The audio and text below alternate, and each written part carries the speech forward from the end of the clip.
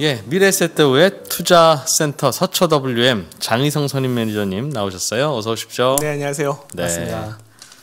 요즘 손님들하고 대화하고 그런 분위기들 좋으시죠? 그럼요. 뭐 일단 코스피도 2,600 넘어서 오늘도 또 음. 네. 올랐고 뭐 지금 전 세계 증시가 다 좋으니까요. 다만 다만 이제 stay in the market 이게 참여를 하고 있느냐 못 하고 있느냐. 그래서 뭐 아. 쭉그 뒤에 이어서도 그, 뭐 12월 약간 뭐 어, 변수들 말씀드리겠지만 그 특히 이제 좀 경력이 짧은 업계에 보면 후배나 이런 분들 중에 무슨 고민을 하냐면 고객이 투자하겠다고 돈 싸들고 왔는데 네. 이제 특히 이제 투자자분들 중에서도 그런 분들 있잖아요. 이게 조정 나오고 이런 거 다 맞추고 싶어 하는 분들 있잖아요. 음. 절묘하게 좀 뺐다가 빠지면 들어가고 싶고. 근데 그게 이제 이런 증권사 PB들이 그런 욕심을 부렸다가 자칫 음. 어, 좀 너무 올라 있는데 조정 받으면 들어가시죠. 음. 제가 뭐 좀 타이밍 좀 보겠습니다. 네. 그것 때문에 곤욕을 치르는 분들이 어. 아마 업계에 꽤 있을 거예요. 오히려 손님이 돈 맡기러 왔는데 왔는데 예, 아. 특히 이제 그런 욕심을 부리는 분들 중에 그런 뭐 고충을 토로하는 분들이 간혹 몇분 보여서 어. 어 좀 굉장히 좀 조심히 그런 건 조심해야 된다. 음. 시장에 참여는 해야 된다. 그런 거 꼭 뭐 이거 방송 들으시는 업계 분들 계시면 예. 좀 유념하셨으면 좋겠습니다. 아무튼 그런 장이에요. 그렇죠? 네. 음, 그런 장입니다. 오늘 중국 시장부터 쭉 한번 돌아보죠. 중국에서는 어떤 뉴스 있었어요? 중국 사실 크게 오늘 별다른 이슈가 없었고요. 음. 약간 3,400을 탈환한 이후로 상해종합지수 기준으로 예. 약간 숨고르기가 있었습니다. 이게 요새 보면 이제 중국 시장 참여자분들이 오히려 한국 증시를 되게 부러워할 것 같아요. 우리 우리를 부러워할 것 같고요. 음. 예. 뭐 지수 간단히 말씀드리면요. 상해 종합 지수는 이제 3,400은 지켰지만 0.34% 하락했고요. 심천 성분 지수 0.38% 하락했습니다. 창업판도 0.43% 내렸고요. 예. 과창 50 지수도 0.38% 내렸습니다. 항생 지수만 이제 0.39% 올랐고요. 예, 또 항생 테크 지수도 0.23% 상승해서 홍콩 쪽은 그래도 조금 상승 이어갔다 이렇게 볼수 있을 것 같습니다. 뭐, 어, 뭐 외국인 특별한 움직임도 없었고요. 어제는 한 100억 위안 샀는데 그리고 뭐 거래대금도 한 7,910억 위안 그리고 위안의 고시환율은 6, 6.580구라서요. 전일보다 약간 어, 올랐습니다. 네. 뭐 전반적으로 기- 그냥 말씀드렸지 지수만 보셔도 쏘쏘. 아시다시피 예, 쏘쏘했고요.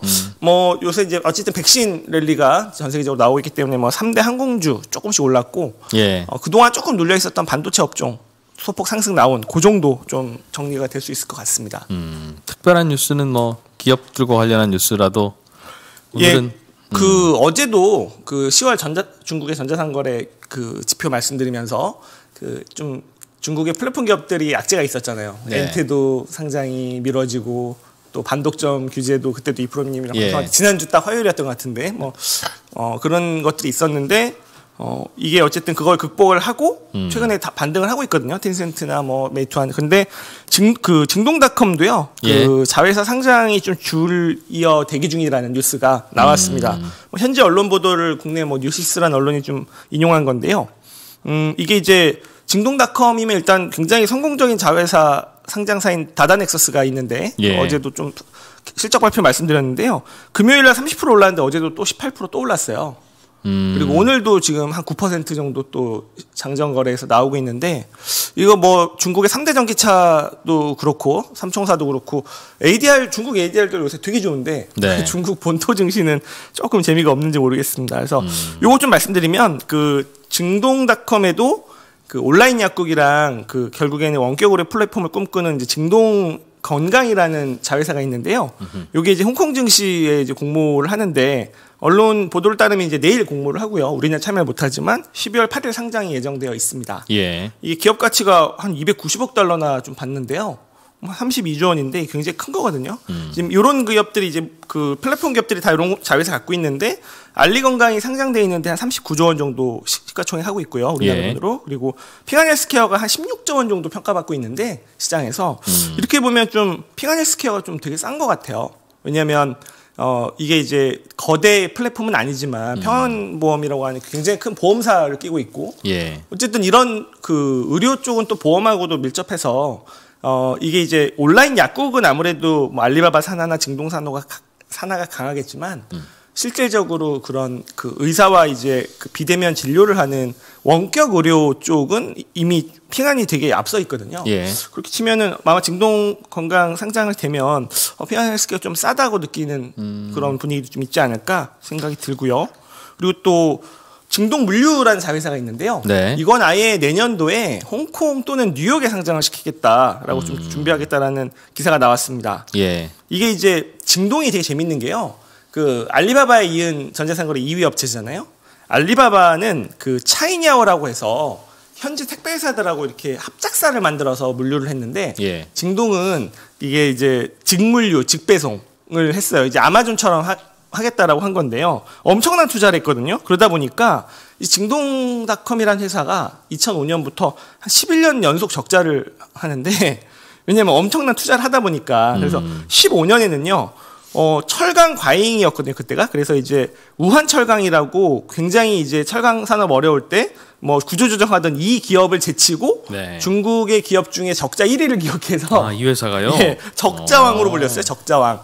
근데 이제 2016년에 흑자 전환을 성공을 했고 네. 어, 이 적자 10년 넘는 적자 이거를 지금 따라하는 곳이 어쨌든 쿠팡이라고 볼 수 있겠죠. 음. 쿠팡에 이제 김범석 의장께서는 진동처럼 변신을 할 수 있다라는 좀 희망을 갖고 계실 테고 예. 어쨌든 그러다 보니까 엄청난 물류 시스템을 갖추게 됐습니다. 음, 그렇게 투자하다 보니까 그래서 중국 전역에 대형 창고만 한 800여 개가 있고 물류 기반 시설만 한 2천만 제곱미터가 있대요. 물류하는 전문 자회사인가 봐요. 네, 그렇죠. 물류가? 음. 예, 물, 물류만 한 전문 자회사로 이제 별도로 분리를 해놓은 거고, 이거 지금 기업 가치는 한 400억 달러 정도 예상이 돼서요. 네. 어, 지금 증동이 지금 시가총액 한 153조 원 정도 되거든요. 근데 자회사 가, 가치만 해도 예. 뭐 다다 넥서스까지 있으니까요. 음. 뭐 굉장히 또 큰 거대 플랫폼으로 또 성장하고 있는 거 아닌가. 예. 뭐 증동도 한번 관심을 가져보실 필요가 음. 있을 것 같습니다. 그 중에서 진동 건강이라는 회사가 홍콩 증시에 공모한다고요? 네, 공모해서 이제 12월 8일에 상장하면 저희도 살 수 있고 음. 그거의 피어 그 피어가 알리건강, 알리건강 핑한 예, 헬스케어인데 그건 이미 상장 이- 역시나 홍콩 시- 시장에 상장이 되어 있습니다. 음, 핑한 헬스케어가 상대적으로 싸 보일 수 있다. 네. 시가총액 생각하면 그런 것 같습니다. 예. 유럽으로 가볼까요? 유럽 지수는 어제 사실 좀 상승 출발하다가 약간 하락 마감으로 마감했는데요. 네. 오늘 또 다시 재차 상승 중입니다. 뭐 독일이 한 1.07% 오르고 영국 FTSE 지수가 한 1.2%, 프랑스도 음. 1.4%, 유로스탁스 50도 1.29% 지금 상승 중인데요. 예. 어쨌든 뭐 유럽은 백신 소식 나온 이후로는 음. 그 글로벌에서 가장 지금 강하게 반등하고 있는 증시예요. 아, 물론 이제 코로나 이전 회복하려면 아직도 멀었지만 음. 예. 이제 그렇게 좀 볼 수 있을 것 같고요. 어제 이제 11월 PMI 예비치 말씀드렸는데 이제 시장에서도 해석이 아직 뭐 그 제조업 확산 확장세는 지속되고 있는데 서비스업 충격이 너무 크다 이렇게 좀 보고 있는 것 같고요. 음 독일하고 프랑스 프랑스는 어쨌든 최근에 보면 유럽은 확진자 좀 떨어지고 있잖아요. 예. 고점에서 그래서 봉쇄를 좀 연장하는 걸 고려하고 있습니다. 음. 우리도 보니까 오늘 뉴스 보니까 어, 연말에 이제 모임은 없다고 생각해 주십시오라고 이렇게 하더라고요. 네. 그 방역본부에서 그래서 음, 그런 것들을 좀 극복을 해야 될 것 같고요.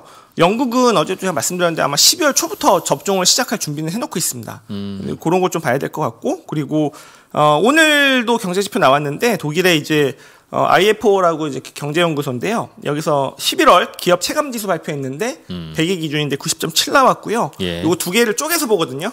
현행 평가 지수가 90, 기대 평가 지수가 91.5 나왔어요. 음. 둘다 100을 하회하는데 현행 평가 지수는 예상치보다는 높게 나왔고 기대 평가 지수는 예상치보다 낮게 나와서 어 좀 이게 원래 이제 유럽의 경제 지표를 보면은 미래를 좀 낙관적으로 보는데 음. 그게 약간은 떨어졌다. 그게 심리 지수인가요? 네 그렇습니다. 요거는 요 요거 IF 기업 체감 지수는 기업들한테 물어보는 거고요. 네. ZEW 지수는 이제 애널리스트랑 기관 투자- 투자자들한테 물어보는 지수가 따로 음. 예. 두 가지가 있거든요. 그래서 어, 어, 그래도 조금 어, 90 정도면은 이제 100을 찾아서 회복하는 구간에 있다. 음. 뭐 80대까지 떨어지고 이랬었으니까요. 그 정도 좀 보면 될 것 같습니다. 그렇군요.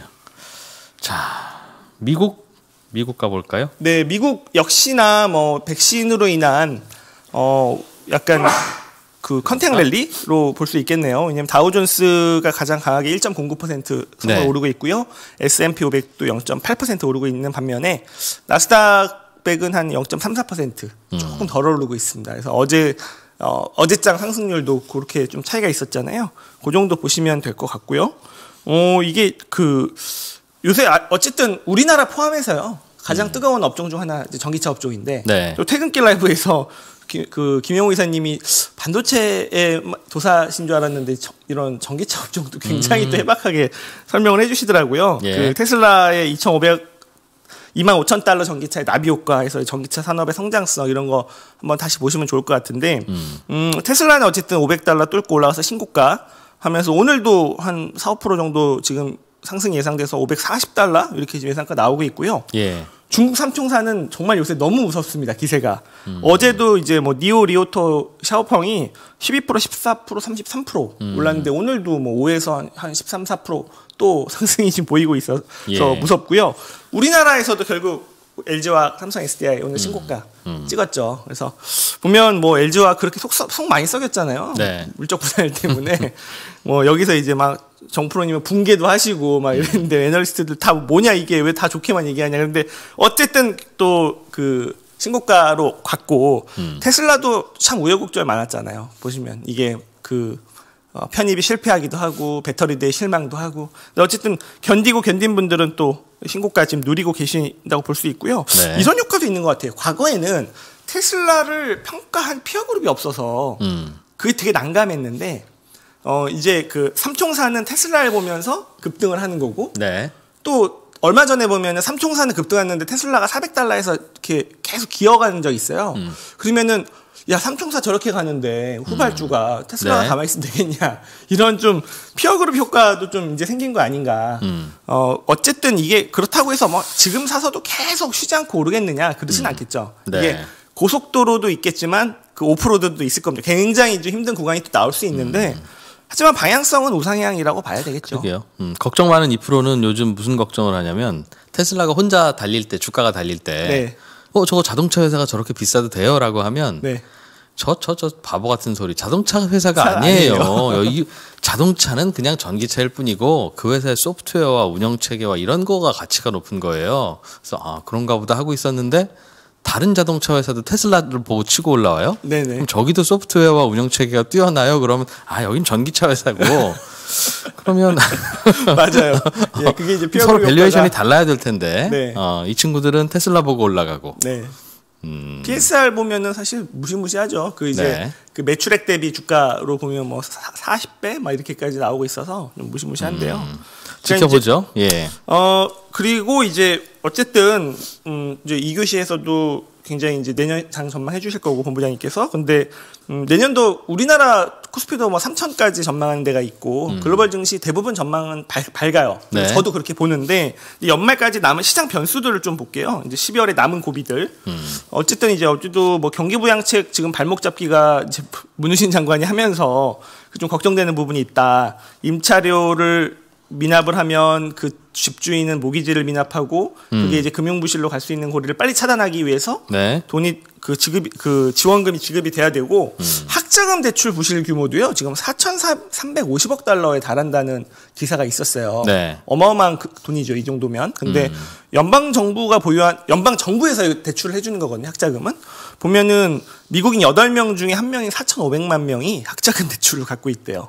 이게 우리나라에 좀 일침을 가하는 거죠. 다 부모님 돈으로 대학교를 다 나오셨을 텐데. 네, 대부분이란 뜻이네요. 대부분. 대부분이란 네. 뜻이죠. 예. 그래서 매년 6천 개 이상 대학에 학생들에게 한 천억 달러가 대출이 나간대요 학자금이. 근데 음, 이게 이제 지금 부실이 지금 늘어나는 거죠. 왜냐하면 직업을 못 구하거나 직업을 잃거나 네. 근데 보조금도 안 오니까 이걸 매달 내야 되는 상환금을 못 내고 있는 건데 이게 그래서 이제 바이든 정부에서는 인별 한 만 달러 탕감 법안도 준비 중이고요. 네. 이게 이제 평상시에도 채무 불이행 비율이 한 11.4% 정도 되는데 음. 올해는 이제 급증이 예상이 됩니다. 이게 그 뭐 재난지원금이나 이런 지원금이 나오지 않으면요. 예. 그렇게 되면 문제는 이들이 이제 정상적인 소비층에서 이탈을 하기 때문에 음. 파산을 하고 나면 정상적인 소비가 안 되잖아요. 그래서 이분들이 취업해서 갚아야 되는 거였다는 거죠. 원래는 취업해서 갚아야 되는데 지금은 이제 그게 어려워졌기. 때문에 약간 보조금이나 지원금이 나오면 그걸로 어쨌든 어 일부는 이거 갚고 이거는 생활비 쓰고 이렇게 할 수 있었는데 네. 지금 그게 딱 막혀버렸잖아요 경기부양책 때문에 뭐 할수 있는 걸 안 하면서 이제 이런 문제가 벌어지는 것들이 예. 좀 안타깝다라는 생각이 들고요. 네. 그리고 또 JP 모건에서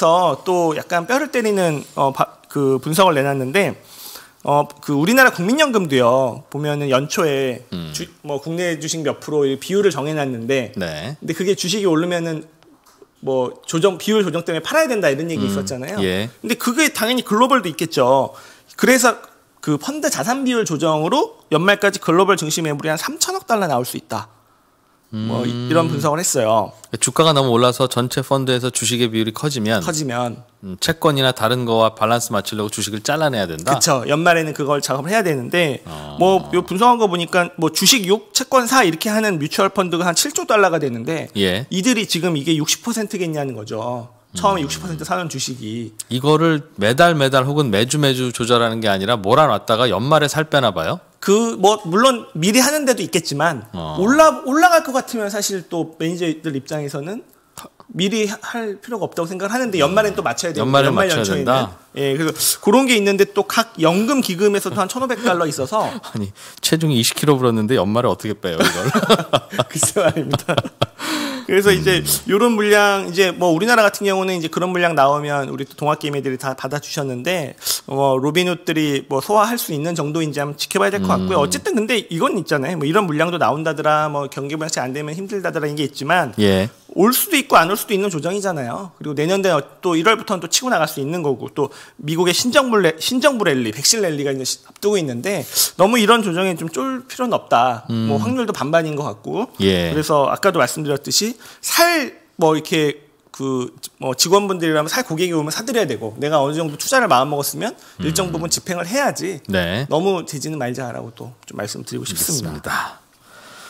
미국 시장 관련해서는 또 전해주실 이야기 있습니까? 뭐 가장 큰 시장을 또 지금 흔들고 또 약간 상승 분위기를 만드는 거는 제닛 옐런인 것 같아요. 음, 지금 일단 뭐 확정 보도는 아니지만 다수의 그 언론 보도를 보면 재무부 장관 지명이 확실시되고 있죠. 네. 여성 최초로 이분이 어떤 분이냐 이제 2014년부터 18년까지 제 15대 미국 연방준비제도 이사회 의장을 하신 분이죠. 연임을 못 하셨어요 트럼프 때문에. 예. 그리고 그 전에는 연, 연준 부의장을 하셨었고 또그 전에는 샌프란시스코 연은 총재를 하셨는데요. 음. 이게 이제 전 세계에서 가장 유명한 경제학자 부부라고 해서 이 남편이 조지 에커로프 UC 버클리대 교수신데요.